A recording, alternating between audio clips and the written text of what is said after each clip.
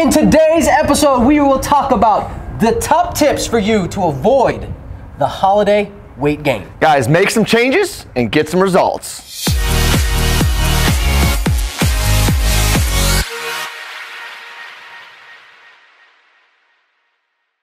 Hello, my Facebook company. What's up, Crew, guys? People, Facebookers, YouTubers, Instagrammers, LinkedIners. listen, y'all all got holidays coming up. It's happening. It's a real thing. It actually happens every single year. Uh, It does. Around the same time. Yeah. Around yeah. the same time. Weird. Speaking of around the same time, this year, daylight savings time, somebody told us that the daylight saving time, they were going to skip it this year.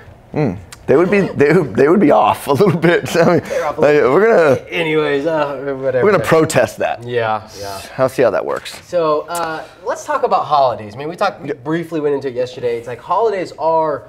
First of all, holidays are the great. No, no, let's be be real. About it. Holidays are the most stressful darn time there is. It's true. I was in Target the other day.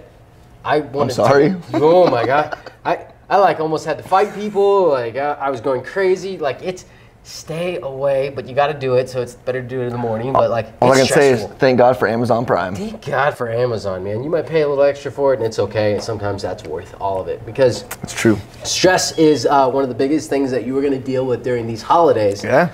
And when we talk about stress, when we talk about hormones, when we talk about weight, women specifically, Right.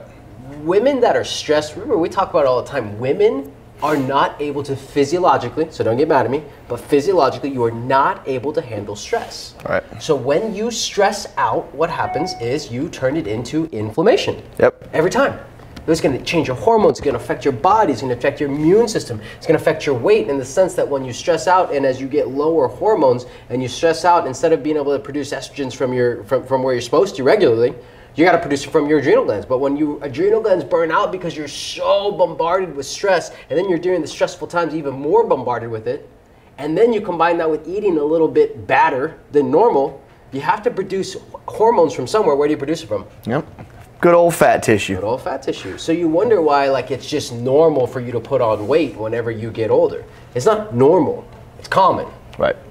It means you're imbalanced. Yep. It means things are wrong. You got to figure out what it is, and and you got to address that. But you got to address it by stress. And so if it means not being around family for holidays, don't be around family for holidays. Yeah. And that is something that people are like, why would he even say that? Listen, guys. I mean, Health is more important. it's so you, you got to look out for yourself and your family, your immediate family. But uh, but yeah, just like Doc said, I mean, your body can literally make fat, guys. You could be eating clean, you can be doing the right thing, because you're so stressed out and your hormones are so out of balance, your body can literally break down your muscle and turn it into fat. So protein and sugar are very close when it comes to their their chemical compound. They're very close. It's just you take away a nitrogen group and now you got sugar. So your body will convert your protein into sugar and then turn it into fat because the fat will make estrogen. And now you're like, I'm doing everything right. I'm exercising three hours every day, which is probably detrimental to your hormones, and I'm still gaining weight. Yep. And you get so frustrated, and what happens?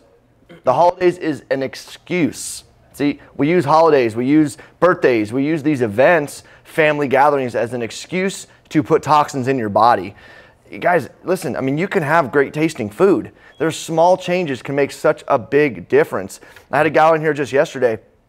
She's been working with us for two weeks. She's already referred five people into our office, and she is so happy with how she feels just in two weeks.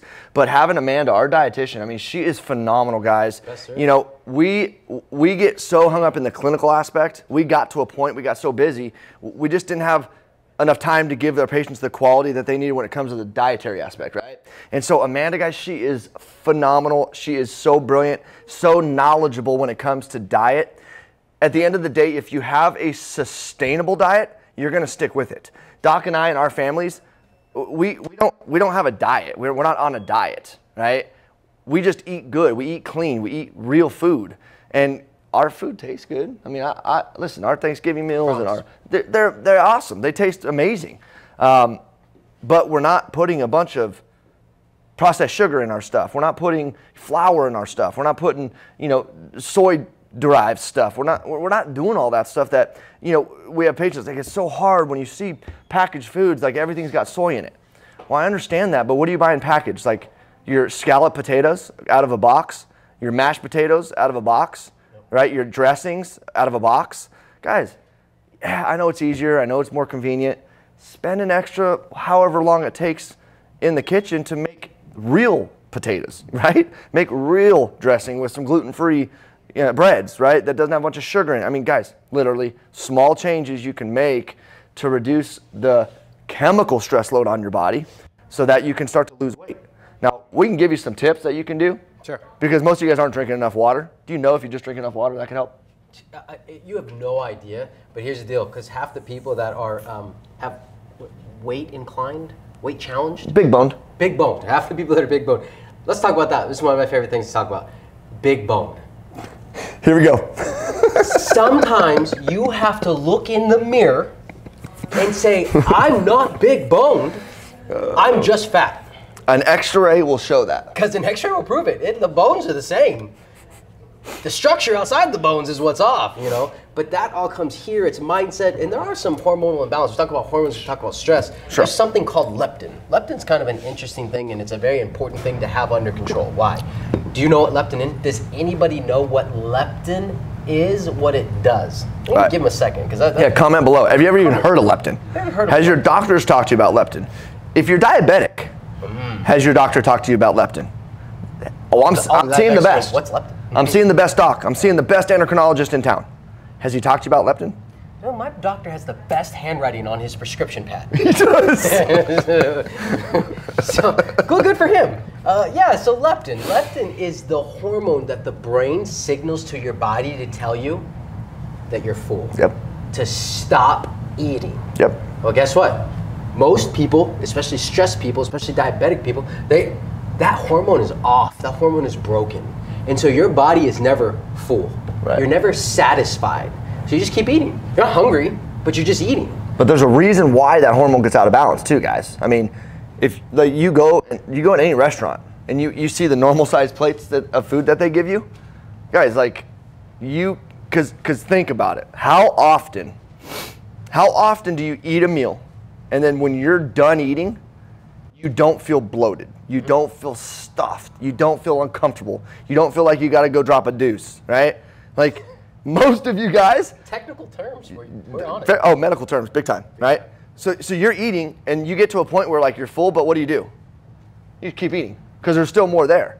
So you become leptin resistant. What's that mean? Body stops listening to it. And so it just causes all kinds of issues, guys. So you grazers out there, because isn't it good to graze? Every two to three hours. have Gotta eat something every couple hours. That's that's what they tell you. That's Yep. what you do. I, I I'll tell you, like I eat like twice a day. Yep. Usually. Right. Um, you know, we'll, eat- we'll eat a good lunch and then a smaller dinner. Um, we have these meals that like that we get that we that we cr- prepare. Um, everything's kind of packaged for us. Uh, packaged for that sounds terrible. But like one of those Green Chef meal Yep. prep things. Yep. And they send it to us and we do it and like like it's like two servings. Right. And so like when you put it all on a plate, it's like, where's the rest of the food? Like, Yeah. because it's not what you're used to. Right. And and when you're done eating, like you're you're satisfied, but most people are not satisfied because I'll, I'll have people say like, well, we've done those meals before, and like it's just not enough food. Well, let me tell you that it is enough food. Right. You have something wrong and you are imbalanced. Yep. We need to work on your inflammation. Yep. We need to work on your body. We need to work on healing, right? And, and so yeah, you don't. So so one of the tips that I was gonna say is just like with the with the holidays, with all the parties, with all the uh, like you know the things that you got going on, you get one meal. You get one plate at your meal. You got you have multiple parties. So so but you get one plate. You don't get seconds. You might want seconds, and in fact, you probably do want seconds. Right. You will want seconds. Yeah. One plate. Limit to it. Put whatever you want on that plate. Have one plate. Yep. Fill it up. I could just see some people right now. right. All right, I got one plate. Then it's this big. Listen, one plate. That's all you get, and uh, and enjoy that plate. You know, for those meals, just when you do it, you want to take some extra stomach acid, uh, apple cider vinegar, betaine HCl, digestive enzyme, something to that degree to help you break it down. Um, but that those meals, those parties, it's one plate. And make sure you're sticking to the three food groups: candy, candy corn, and syrup. And so- That's exactly right. Okay, so make- and you will be completely great for this holiday. So that is the weight loss tip of the day. Stick to the free, three food groups and you'll, you'll be solid. So, oh man. So no, guys, listen. I mean, you know, if, especially going back to the leptin as well. Like you're getting these sugar cravings because your body doesn't want to burn fat for fuel because it needs the fat because your hormones are so screwed up. Mm. So you're gonna crave sugar. Well, what's around this time of year?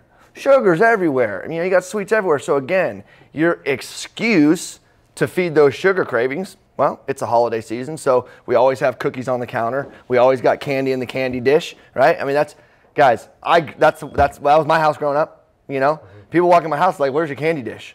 well, what? I, mean, I don't know. We don't have candy dishes sitting You around the house. ate it before you came in. I did, yeah. Right. Yeah, you should see our, uh, our, our elf on the shelf. His name's Kringle. Um, I don't know where he got the candy from, but he had a bunch of candy last night. He was watching a movie. It was, He was getting into it. But um, Ours was fondueing marshmallows last night. really, man, he's the fancy one. Yeah, I'm telling He you. He wasn't just roasting them, he was was them. Fonduing them. Wow.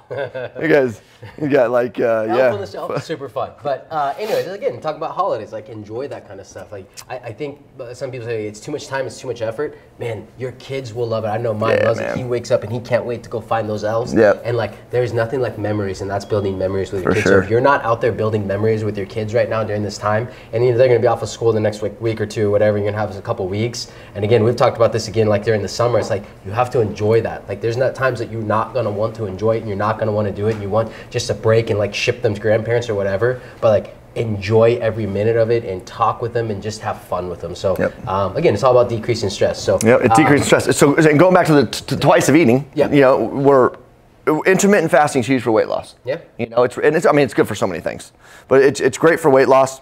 Um, you know, and and you can't do something good for four or five days, fall off on the weekend. Oh, but it's Monday now. Let's get back on it. Four or five days, and then get frustrated you're not getting results. All right, and so, you know, I had a patient call me. Actually, my the dietitian called me to kind of talk to me about this particular patient.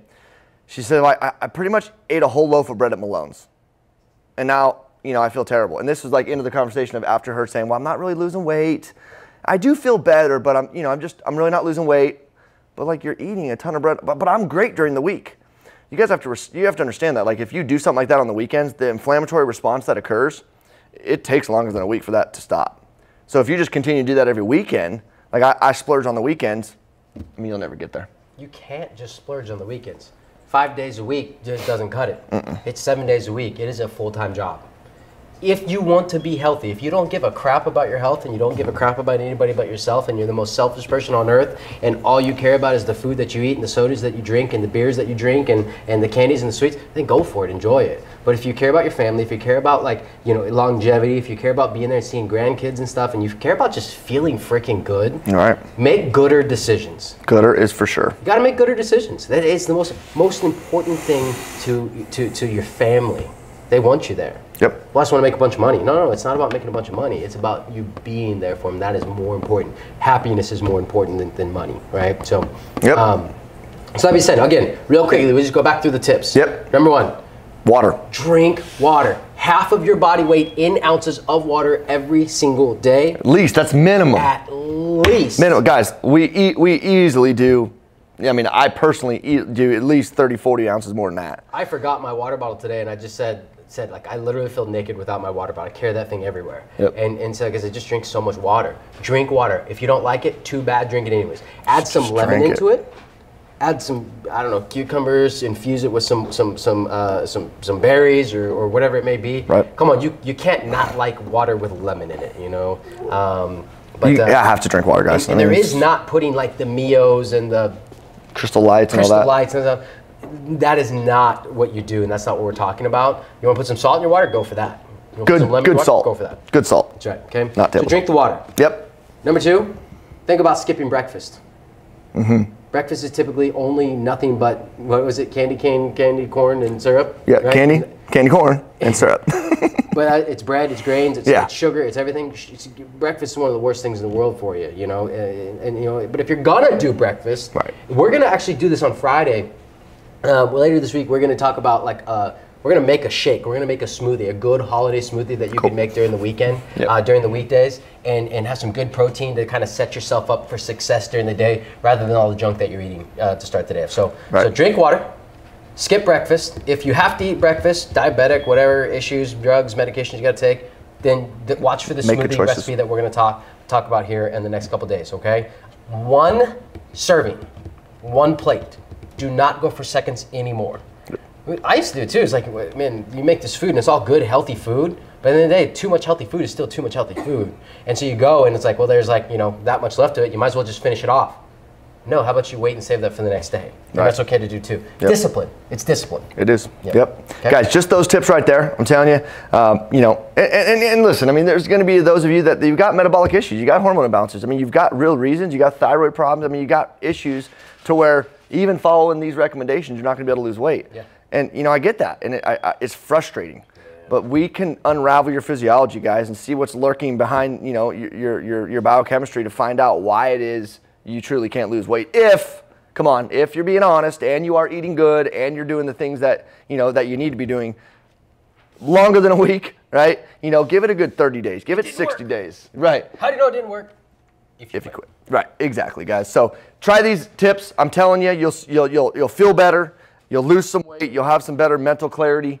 Um, guys, don't use, don't use the holidays as an excuse, you know? Don't use the holidays as an excuse to stress, to eat like crap, to be mean to people around you, you know? Be jolly. Be jolly. Be jolly. That being said, guys, stay tuned. We got a lot of great stuff going on the rest of this week. And uh, as always, ask questions. We appreciate the heck out of each and every one of you. We're very thankful for you watching. We're even more thankful for you sharing this and Yep. liking us. Uh, just that you know, trusting us with, with your health and with knowledge and, and just bringing you just things that you want to know. So ask questions. We will provide answers. We love answering questions. Okay. Yep. Um, so like I said, happy holidays, and we will talk soon.